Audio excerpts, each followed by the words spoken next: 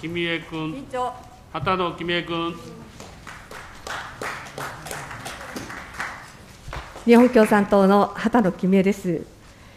教育職員等による児童・生徒性暴力等の防止等に関する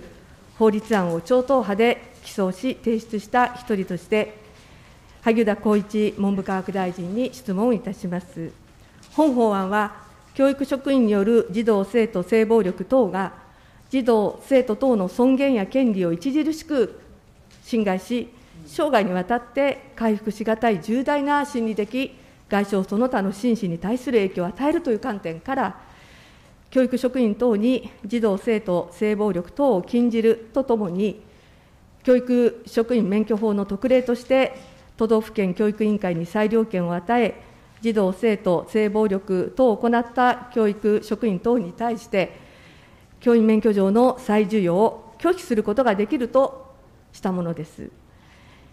教師と教え子の関係を利用した性暴力は、成長途中の子どもの一生を左右する深刻なダメージを子どもに与え、発達生存の権利や個人の尊厳といった子どもの権利を著しく侵害する行為です。このいわゆるわいせつ教員根絶法案に関わり、政府にいくつか伺います。まず、懲戒処分等に際し、学校の設置者が専門家の協力を得て行う調査は、事実関係を客観的に確認し、公正かつ中立な調査が行われるよう、第三者機関による調査や通報者の保護、事実誤認による教育職員への救済措置など、全国的な基準を定める必要があるのではないでしょうか。また、調査をするにあたっては、何よりも被害者の立場に立ち、児童・生徒等およびその保護者の負担を軽減することも重要です。私は2017年の性犯罪にかかる刑法改正にあたり、教師と生徒等の関係性を利用した性的行為について質問いたしました。被害を受けた子どもの心理的な負担を軽減するための面接の在り方やケアについて対策を求めてまいりました。関係機関の連携による面接の一括化や適切な質問項目の設計、公費による代理人、その他必要とされるスタッフ、スクールソーシャルワーカー、スクールカウンセラー等を置くこと、また専門家の要請など財政措置も含め、適切な調査方法、調査項目の速やかな構築が必要ではないでしょうか。いかがですか。萩生田文科大臣、これ、成立をした暁にはですね、19条にも示されており、学校の設置者が専門家の協力を得て、調査を行うことに関して、法律に詳しい弁護士や児童・生徒、性暴力等に詳しい医師、臨床心理士等の協力を得ることにより、より精緻な聞き取りや、被害者に配慮した対応も可能となり、公正な事実確認につながるものと考えています。文科省としては、本法案が成立することになれば、こうした専門家に期待される役割や、専門家による調査協力の在り方、公平性、中立性の確保等の留意点、通報した者がそのことをもって不利益な取り扱いをされないこと等について、今後、私、文部科学大臣が定めることとなる基本指針等を通じて、しっかりお示しをしてまいりたいと考えています。また、こうした調査にあたっては、被害を受けた児童・生徒に十分に配慮して対応する必要があると考えています。あのただでさえ精神的に傷ついている被害者の子どもたちにですね、親御さんが聞く、担任の先生が聞く、校長先生も入ってくる、保健の先生が聞く、ソーシャルワーカーが入ってくる、これじゃ本当、参っちゃうと思うんですね、ですから、そういったことも含めて、せっかく皆さんであの温かい法律をご審議いただいてますので、あの成立した後はですね、そういったさ例えばヒアリングの在り方なども、あのぜひ、えーしっかり研究をしてですね、あの子どもたちのことも考えていかなきゃいけないと思ってますので、あのやらなきゃならないこと、たくさんあるなと思いながら、あ議員の皆さんのご努力に敬意を表したいと思います。畑野君あの大臣もおっしゃっていただいたように、あの子どもの立場ですし、え具体化を進めていただきたいと思います。次に、え都道府県教職教育職員免許再授与審査会においては、被害者の立場からの意見を反映させるために、え保護者の立場の審査員を選出するとともに、審査の過程において、被害経験当事者、あの被害者そのものなかなか辛くて出られないということがありますので、サバイバーの方とかですね、保護者、支援者、児童精神、児童心理の専門家等の意見を聞くことが必要ではないかと思いますが、いかがでしょうか？萩生田大臣。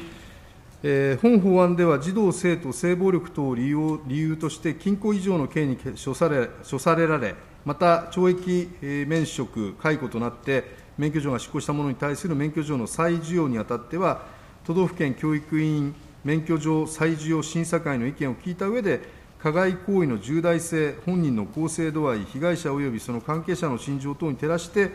総合的に判断されることとなると承知しています。この審査会については、教員免許状の再授与審査において重要な役割を果たすものであり、文部科学省としては法案の規定による文部科学省政令等において、省令省令等において、委員適任性、適任者の例や、具体的な審査のプロセス、観点等を含めて、関係者とも相談しながら、しっかりと検討した上で、お示ししてまいりたいと考えております。畑野君。そこでさらに伺います、七尾養護学校の性教育に対し、教職員らが処分された事件は、最高裁で処分取り消しが確定しましたが、性教育を行うことについて、現場で萎縮が起きてはならないと思います。萩生田大臣のご認識を伺います。また、児童・生徒性暴力等予防、早期発見、保護支援するためには、その前提として、児童・生徒及び教職教育職員等が何が児童・生徒性暴力等なのかを理解していなければなりません。発達段階に応じた性教育が行われる必要があります。萩生田大臣がご答弁されたように、時代の流れを踏まえ、性教育の在り方を検討するということですが、そのためには、包括的性教育を教育課程に位置づけることなど、地道に研究実践を続けてきた専門家の声を聞くことや、性教育にブレーキをかける中学校での妊娠の経過については、取り扱わないなどの学習指導要領の規定の見直しの検討を求める声がありますが、いかがお考えでしょうか？萩生田大臣。性に関する指導については、児童・生徒の発達の段階に応じた指導が重要であり、個々の児童・生徒の発達の過程は、その保護者や日々の指導を行っている学校において把握されているものと考えています。各学校においては、引き続き保護者の理解を得ながら、児童・生徒の発達段階に応じた適切な指導に努めていただき、子どもたちの成長を支えていただきたいと考えています。また、学習指導要領の見直しについてお尋ねがありましたが、性に関する指導の在り方については、えー子どもたちが接する情報環境の変化など、えーまさに今ご指摘いただいたように、時代の変化を踏まえて、専門家の意見も聞きながら検討していく必要があると、昨日答えたばっかりなんですけど、引用していただいてありがとうございます。あのまさに時代がどんどん変わってますので、あのえー指導要領の中で、えーどの学年で何っていうよりは、あのいろんなことをやっぱり俯瞰して、あの子どもたちにはですねあの知識を持ってもらわなきゃいけないと思ってますので、これはあのぜひあの専門家の皆さん交えて検討してみたいと思ってます。畑野君。大変大事なご答弁を萩生田大臣から伺いました。ぜひ専門家の皆さんの声を聞いてご検討いただきたいと思います。最後に、え保育士、そして放課後児童クラブ、放課後等デイサービス、ベビーシッター、部活動の外部コーチ、塾講師、高等専門学校の教育職員などが対象となっておりません。18歳未満の高等専門学校の学生は、児童・生徒等の定義に含まれているのに、その教育職員はこの法律には含まれていない。まあ、これらは、性被害の防止の観点から、日本版 DBS など、紹介制度を導入することも含め、早急な検討が必要ではないかと思いますが、いかがですか？萩生田大臣。あこれはあの提出者に聞いていただいてもよろしいと思うんですけれど、え7条第1項で、え教育職員等以外の学校において、児童・生徒等と接する業務に従事する者による児童・生徒性暴力等の防止に関する措置の在り方等について、また同条第2項では、児童・生徒等と接する業務に従事する者の資格の在り方だけでなく、児童・生徒等に性的な被害を与えた者にかかる紹介制度の在り方等について、政府への検討が義務付けられているものと承知しています。えーこういった法お本法案の規定を踏まえて、えーなされる政府としての検討に、あの成立をされればですね、積極的に協力していきたいと考えています。畑野公明君。えー子どもの権利条約に基づいて、子どもたちを性被害から守るために、えー財政措置を含め、しっかりと具体化をし、進めていただくように求めて、私の質問を終わります。ありがとうございました。これにて発言は終わりました。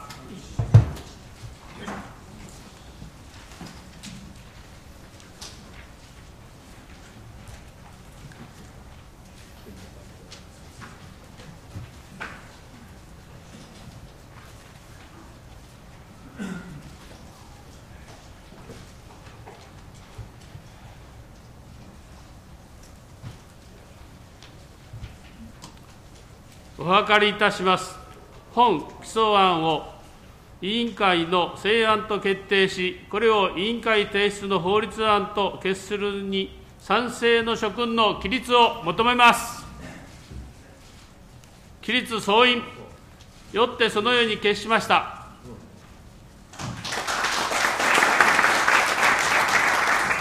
なお、